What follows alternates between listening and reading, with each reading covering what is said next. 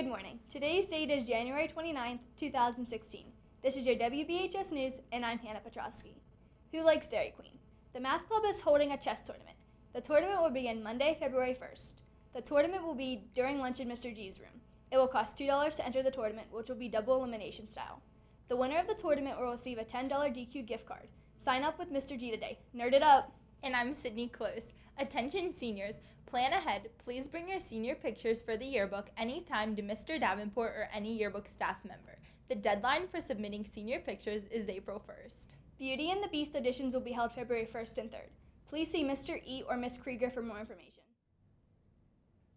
And I'm Jace Johnson with your sports. The boys basketball team has a game tonight in Barnesville at 7. They also have a game tomorrow at home starting at 1 against Toronto. Recently, Mr. Shetler challenged Caitlin Curl and Duncan Pagano in a three point shooting contest. Here are the results.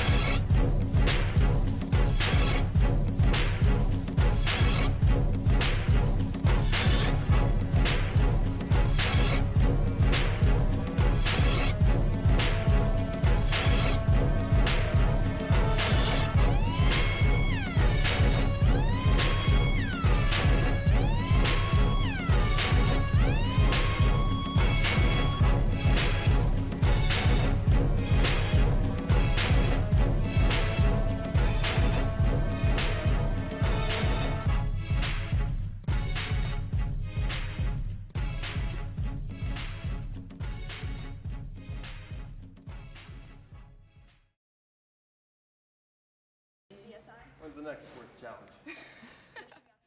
Today's weather will be cloudy with a high of 33 and a low of 26. Tomorrow's weather will be cloudy with a high of 44 and a low of 36. Sunday's weather will be cloudy with a high of 52 and a low of 47.